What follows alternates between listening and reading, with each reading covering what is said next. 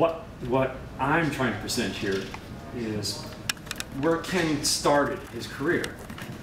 He started his career in science fiction and not in comic fandom, for those of you that know him, in, in comic fandom. But comic fandom really embraced him and, and still does. That's why this is a Ken Krueger tribute fest as well as just the, the first Oktoberfest.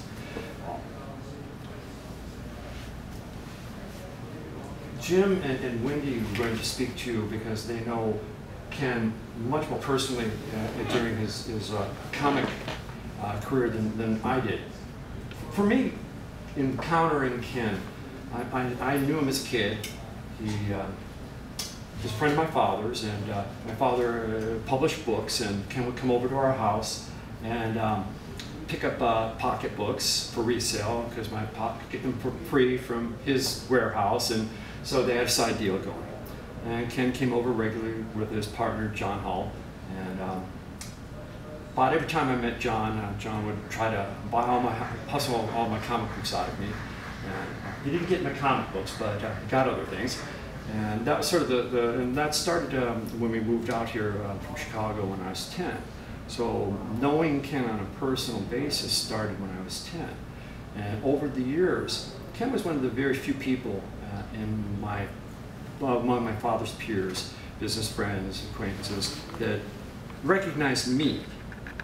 And this is important as a 10, 11, 12, 13, 14 year old, not just as a, a teen, a 17 year old, or something like that.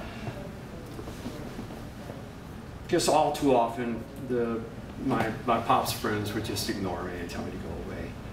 And part of that is um, when Ken got involved with the 1970 uh, Comic Con, first one, he went back to his friends and asked my pop to speak here, which he did on um, First Amendment uh, issues. It wasn't interesting.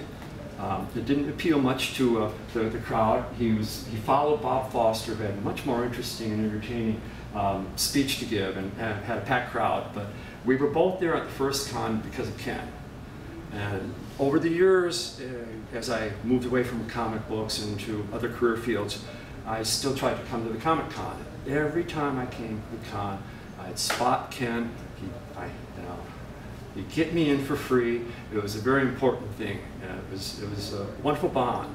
And this is just to illustrate what Ken means to us each in our own way. What what he did for us over the years.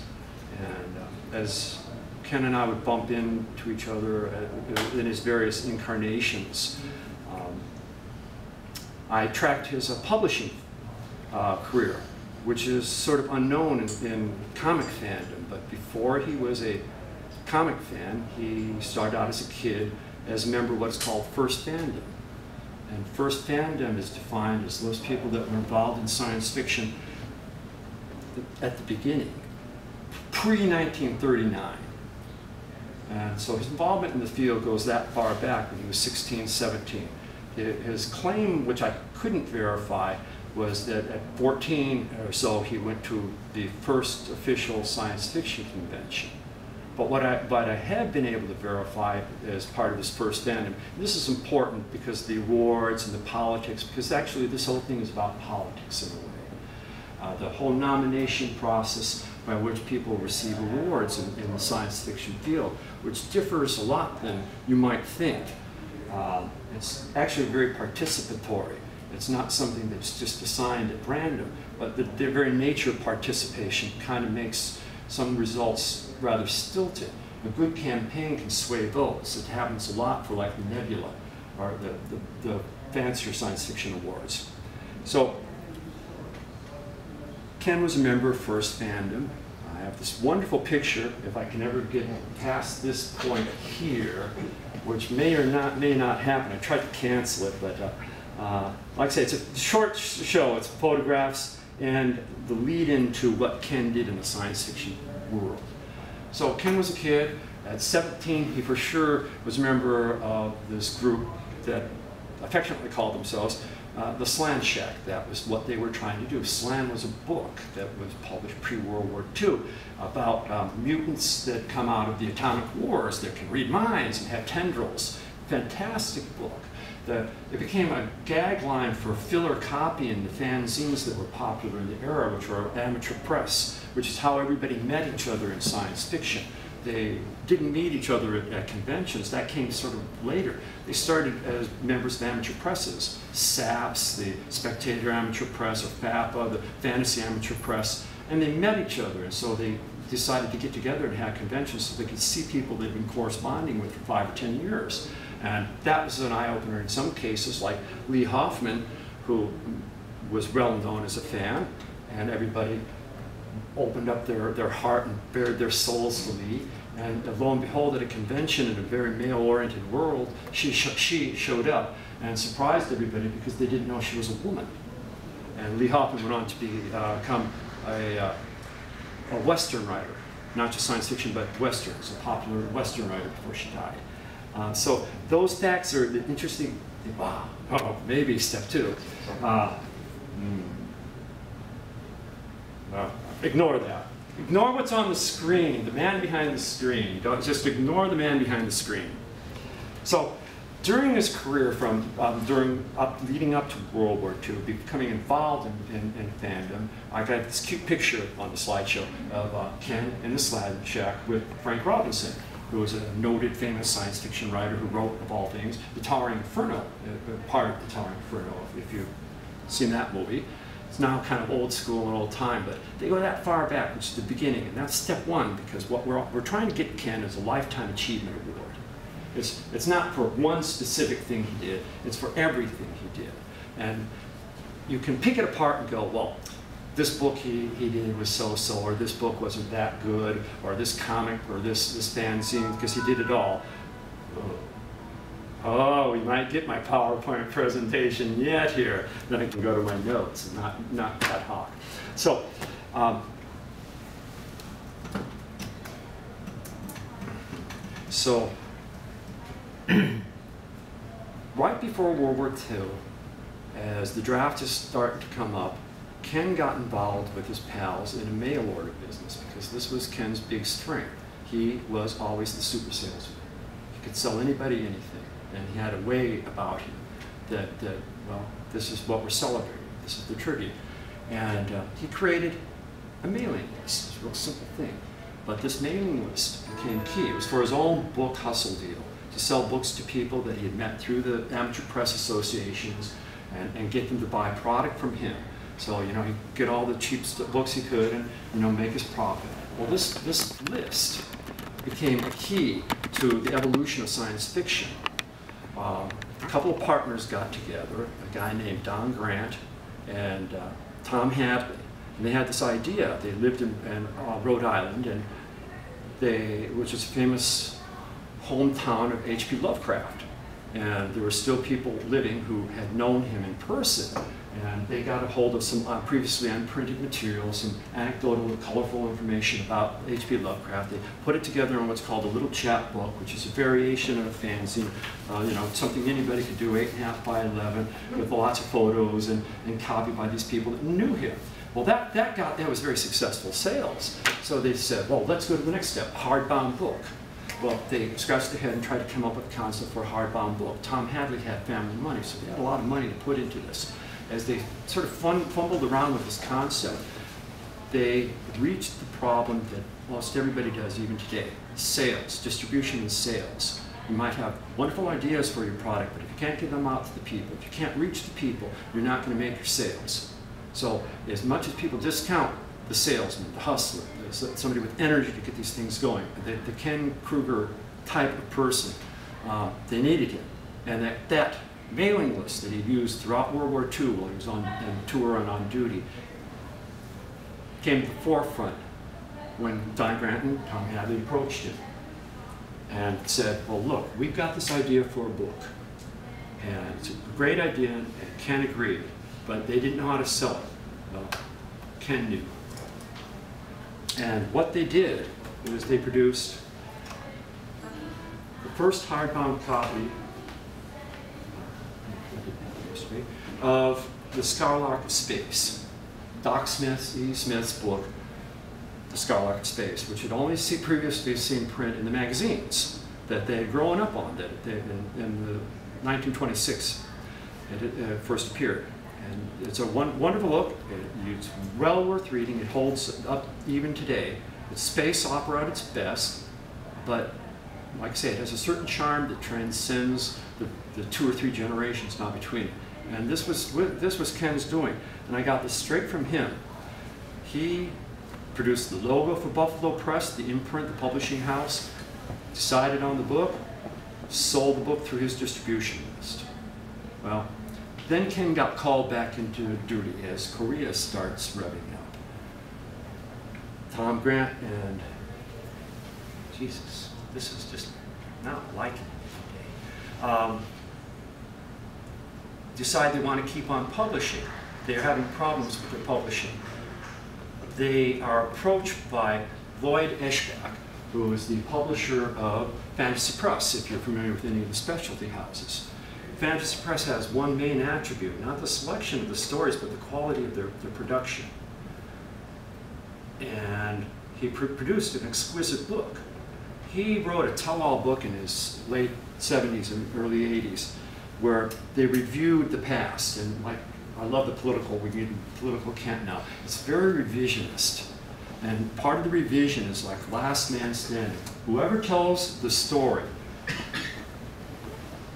pretty much gets to create this stance that everybody else will follow. And if they tell lies, or mistruths, or half-truths, nonetheless, that's what's remembered. So Lloyd Eschbach's revision on it was to sell Ken short, even though the first thing that, that Lloyd did for his business was take that mailing list. So now two imprints and basically three when Tom Hadley lost Don Grant as a partner and started his own publishing company. This is the story of specialty publishing. Specialty publishing in science fiction means right at the end of World War II. Before then, very few hardbound copies of any science fiction had ever appeared. It was all in the magazines. It was thought of as woo-woo stuff, you know, never make money in hardbound books. So the, the main houses that were in existence um, Simon Schuster, Random House, that later got into publishing science fiction, walked away from it, took a pass on it. They just didn't think there was money into it until people like Ken came on board and made the first hardbound copy. So they made the first hardbound science fiction book, The Skylark of Space. Important book, seminal to the industry, it, because it has been repeated, uh, reprinted so many times since. And all the partners, as they broke up almost immediately, took that mailing list and created the next step of their businesses. And because they didn't really have energy, they might have had talent and ability, but they did not have energy to persist. Every one of these subsequent publishers went out of business, including Lloyd Eschbach. Like I say, produces a great book.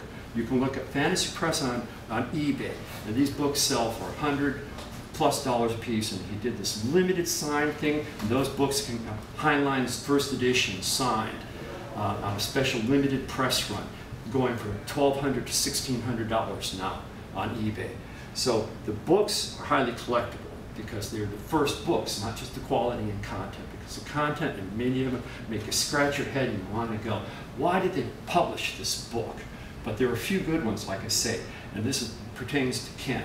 Ken lacked the money, the deep pockets to produce high quality books, but he had the knack as always, even with people, of finding people, diamonds in the rough, and, and, and turning his dimes into dollars. So he produced a nice run of books, and the quality of the content is first rate.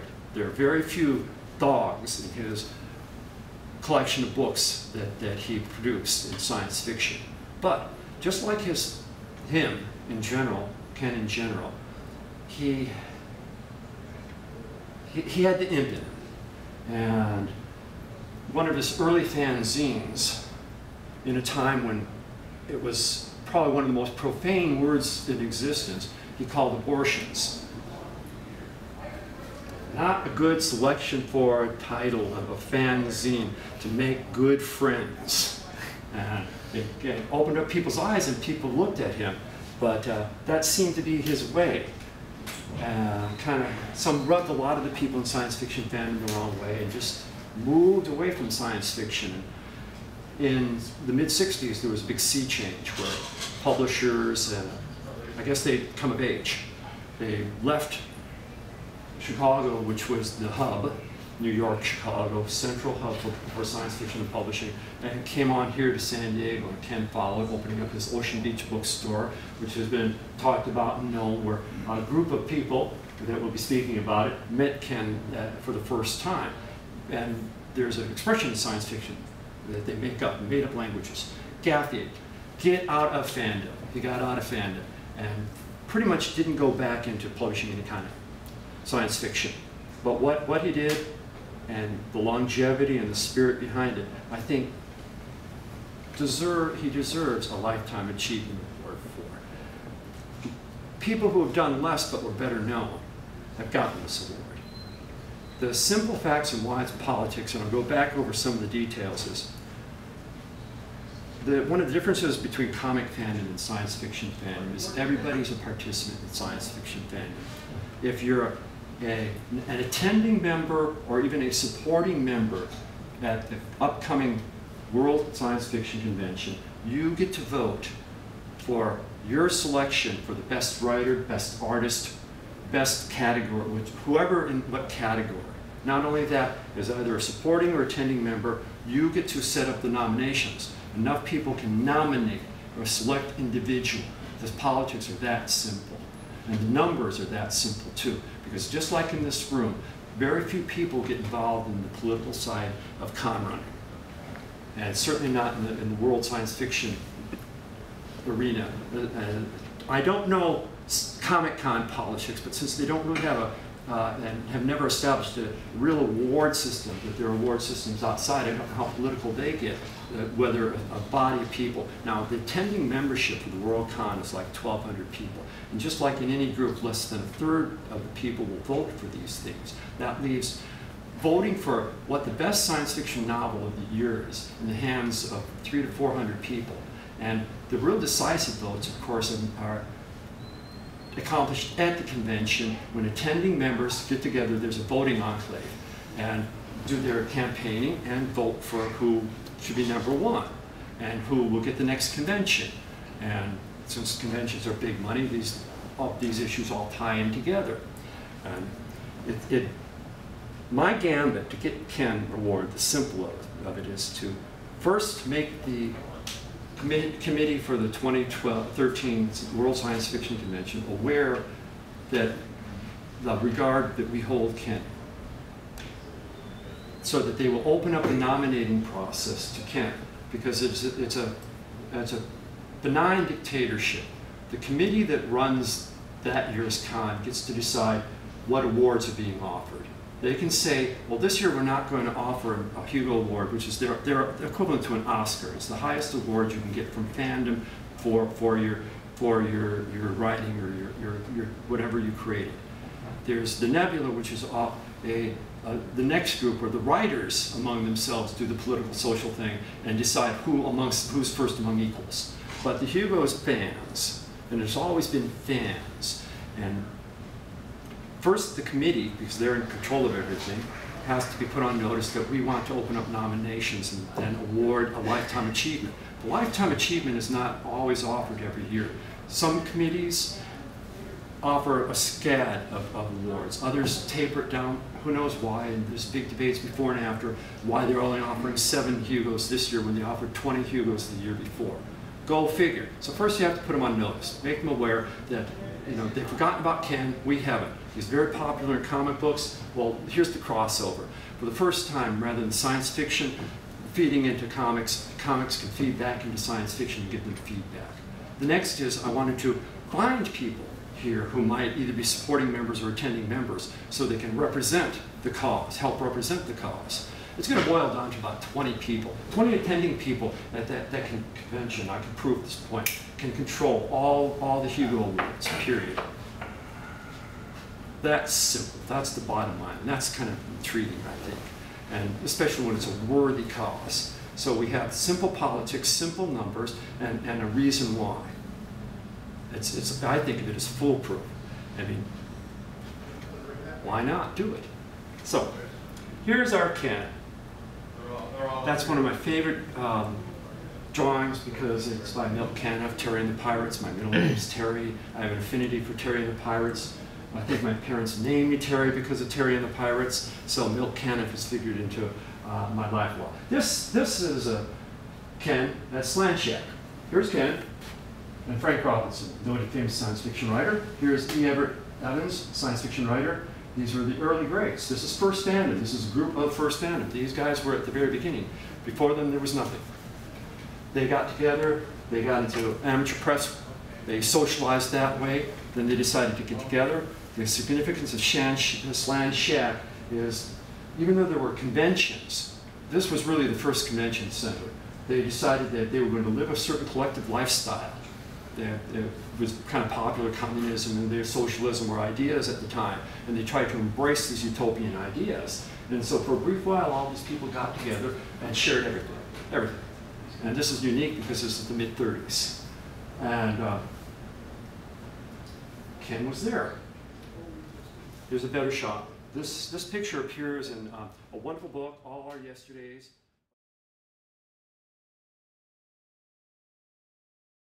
Last time I saw him, uh, standing there with his hands in his pocket uh, and, and just looking around in such a, I mean, maybe I imagined it, maybe I imagined it, but it seemed like his eyes were watering. I mean, like there was some kind of Sentiment. sentiment I. I, I think you're right. And, I- you know, I mean, and it was from a distance, and because of the press of, I mean, the pressing amount of people in the room, I could not get over to talk to him, which of course I regret horribly. Oh, but still, that yeah. must have been great It was, it was, because it was like he was just there, him, you know, I mean, there were people, but he was on the stage standing there, and, and, okay, I didn't imagine the sentiment. It was was there. it was an emotional Yeah, it was, convention for him. yeah, it, it was, so. I What like, we had done, this photograph here is from a dinner that we held at Felipe's, which was Ken's favorite restaurant. And um, I got together with David Scroggy and Scott Shaw, and we got a hold of everyone that we could, that we knew that, you know, Ken's boys, Right. not just his sons are sitting in the back of the room, but, you know, all the boys that, that he had helped throughout the years. And the only person that told me that he couldn't come, uh, mostly for health reasons, was Harlan. Yes. And I think if you're going after Hugo, you should really talk to Harlan and Greg. And I think they probably have the strongest. Yes, but no. Um, since uh, Harlan's debacle with Connie Willis, his malapropism, uh, gropism, uh, Harlan's gotten more issues. Uh, Harlan Grote, major science fiction writer Connie Willis, at an awards ceremony. The scandal beyond its criminal behavior. Sorry, you lose your, your political juice when you, when you cross lines. You're right, he's got the knack, he's got the pull, but, but he's, he's on everybody's bad boy list, not in the good way. Yeah, Harlan's always been. I was gonna say, I can show you list. pictures of him groping me when I was nineteen, so. I'm glad he wasn't into boys, let me tell you. Oh, that was Shel. Yeah, yeah, yeah, yeah, I know, I had to watch your hands some of these guys. There it is. Um, Well, Greg is still around. Greg's a great guy, and Yes. you know, I, I, I think he, he could learn a lot more That's about who I'm being, in that by the way. than I, than I'm- I I'm, possibly could. Got some chats in mind for Greg, Yeah. if he's game. Yeah.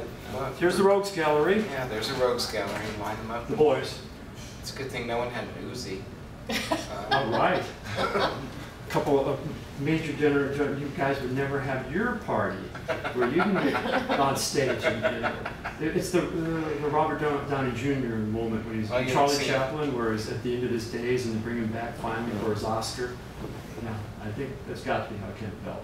I've always been curious. Yeah. I, I clipped the photo a little, but I'm not to tell what Ken is studying. And and I couldn't figure that part out. Part and parcel of this photo is collecting every photo I can of Ken's that's out there is to identify, in the long run, for historical purposes, the question that everybody wants answered is who are these people? What's always lacking is context. How do you get an award? Well, what did you do? Who were you? What, what, who are these people? Who, who are these people that think you Well, I think that's Bill award? Lund standing next to Scott Shaw. Yeah, that is Bill Lund. Yeah, yeah, I have names Bill on all of them, I tried to, Lund. tried to Bill get them in, and that David didn't Clark. come. David Clark's over Yeah, on this I know. side next to Roger. Aren't- Yeah. And It's is terrible for us old guys Alfonso to look at our young guy next to pictures, Richard? even from five years ago. You know, age just keeps coming. That's why we have to move fast and do these things. So there's my Ken. That's the, the, the pro picture I like of him. But this is the, this is Paul Ganley, who's, you know, another, another one of these guys. In other words, next. Next project, guys. And here's my favorite photo of Ken.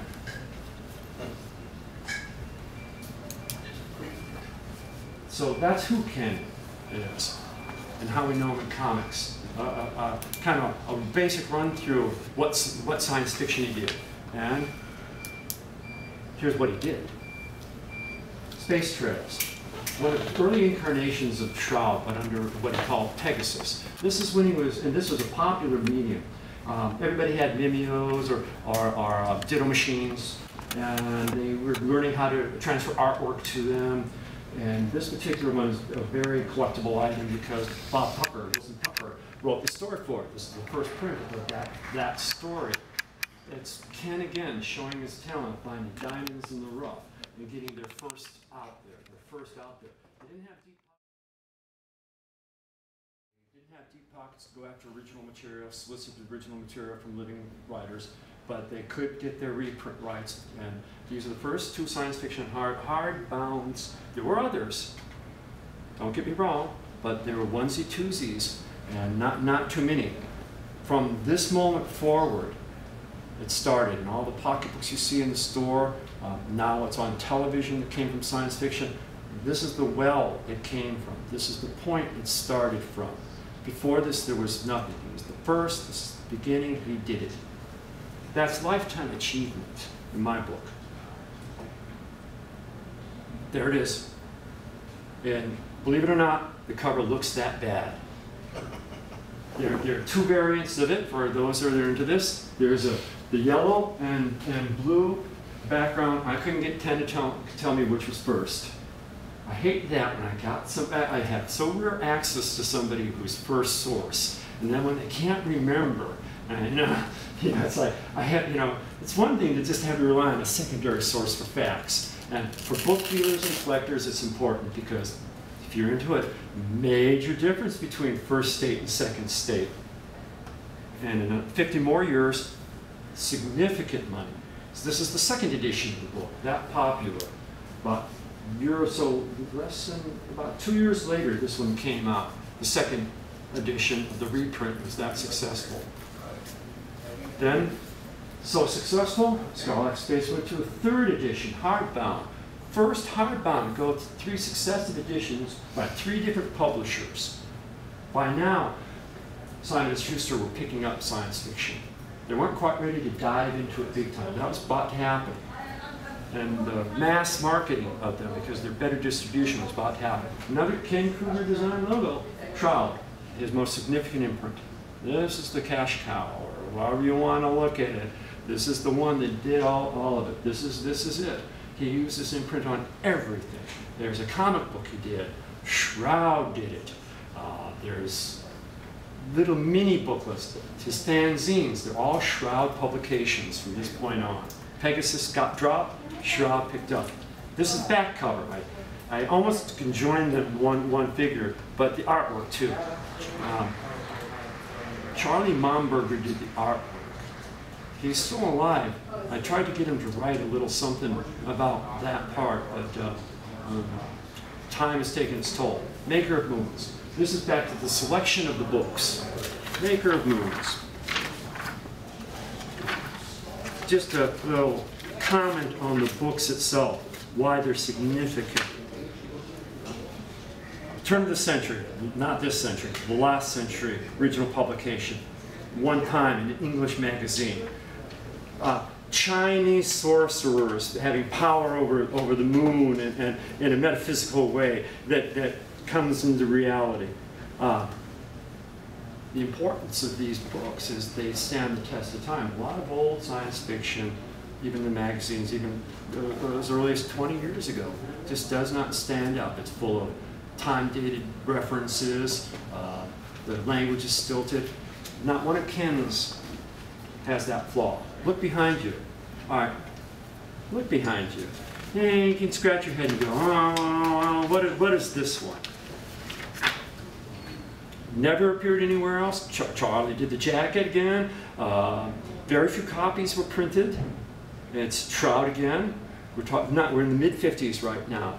He's got a few more years before comics come along. It's a collection of short stories. I read every one of them because I had to answer the question: What what is the quality of this book? Gems. I could put this book out in a POD today, and it would sell. More of the fantastic artwork. This is, this is uh, without the dust jacket. The production of the booklet, it's a digest-sized booklet, it is intentionally very well done within the means possible. So even the, bind, the binding itself was a mystery. And you can see spiral bound. And that's where people get the, that attitude about Kent. Well, this isn't, you know, perfect bound. It's not a library archival paper. It's not always quality, it's content of the character too. Here, this one I, I like because here they are in their day. The writer, it's poetry, and Charlie. These are service buddies. Came up from high school and into the service. Lasting friends, pals for life. Great book. Attention to detail, the actual binding. Here they're trying to hide the, this is their attempt at perfect binding, one of the first attempts. Hard take to, to adhere everything together. These are amateurs putting these things together in every way. Lloyd Eshbach with Fantasy Press had one step up. He was a printer, so he printed the books he was publishing. There, there are no other middlemen. Nobody else wanted to take on the task. Now here's the book if, if Scholarlight in Space doesn't raise eyes at the Worldcon, this one should. We're, we're now back to the root of all. This is horror and fantasy at, at its best. H.P. Lovecraft. This is the first independent publication of Dream-Quest of Unknown Kadath. This book, this is the hardbound dust jacket for it. And he went hardbound with this. There are several states to this one. A limited number that he signed, a Ken signed. I'm talking about Ken. Uh, saw a limited number. There were trade editions and then a soft cover edition. This book, uh, there's one copy in about this condition selling on eBay right now, and they're asking 1700 bucks for it. Just, and it's one story. So it's a small book. Uh, it's well valued among collectors. And the story holds up well. Now, hate to say it, this one didn't cut it for me. Hate to say. This was, uh, uh, Ken sort of stayed with his roots, science fiction. This is murder mystery. Not good. I have to say that. Uh, maybe this is me. Uh, let's put it there. The murder mystery didn't appeal to me. Now this is the, one of the best, almost perfect actual accounts. It's the, the moon maker rather than maker moons. Collectors on note for that. This is so early. This was done, what's the date? Oh my, can't find, here it is. 1958, originally 1915 in a magazine. This is one of the best accounts I've ever read of an actual trip to the moon. They keep it straight there's no gravity, uh, the problems with oxygen, uh, the practicalities of moving mass. Uh, I enjoyed it. I've read a lot of old turn-of-the-century literature that I can't finish because the language or the concepts. I can't read a lot of current science fiction because they lack even basic explanations of the problems in physics. Like, who hasn't seen a science fiction movie where there's gravity in the spaceship? Could that be? And if they don't offer any kind of even semi-plausible explanation, there ain't no gravity out there. This is another gem. This is Fearsome Island. You could tell about now that Ken was getting to be at the end of his science fiction publishing career. There's one more trick that's going to come. This one almost went back to his fanzine roots. Uh, but thank you. This is this is back to a Ditto machine, probably maybe you know, stapled. There are eight. This one is one of his first really illustrated endeavors. 18 illustrations. And because the way he produced the illustrations, it, every one is a color. So there's not one per specific first state cover. They're all first state covers, all the illustrations. The story itself is a gem of the macabre. It's a, a hideous story of a, a sailor shipwrecked on an island where this, this castle bleeds blood and, and, and there are strange mystical witchy things and everyone is accounted for in a practical way at, at the end of it but you're, you're thinking it's all witchcraft and supernatural until every one of these encounters with the, with the mystical side is, is revealed as in a very physical, practical way, which is elegant because most of these things are left in woo, supernatural. I, I don't need to explain what's going on. Then Ken was done. Food for Demons. You remember the first photo I showed you of him in Slan Shack? E. Everett Evans? Well, uh, Mr. Evans had died, and people that knew him, Ray Bradbury among them, each selected one of the short stories that Evans did and wrote um, about Evans just like we're talking about Ken. And this is a, a tribute book for E. Everett Evans. So kind of started the whole conventioneering thing. See, Ken was that loyal. And this is a comic book under the imprint. This, know, this is the crossover. And it brings us to More reprints. Ken couldn't give it up. These were all done. The Fierce Smiling Maker Moons. He liked these stories, went at them again. And that's my tale of Ken. So where does that leave us as a quick recap? Now we know who Ken was, is. We certainly know him in comics. We've seen what he did, heard how important he is to us. So I think we need to tell the World Con Committee what it means to us. And I came up with what I think is an ingenious idea, and I'm floating a petition. And all this petition is, is us here attending this convention want to tell you there at your convention how much we think of Ken, and that we think he deserves a Lifetime Achievement Award what I'm looking for amongst us, like we were talking about a moment ago, is I'm not enough to just get this thing done. I mean, me being an attending member does X. Now, get Greg Bear or somebody like this to help lead the charge. I think we've got a good shot at making this happen, Ken. So first step, step up and sign it. And you can get an official I voted for Ken sticker. I got the flashy one. I'm the only one with the flashy one. And I have a whole lot of these. And the idea was to promote Ken here.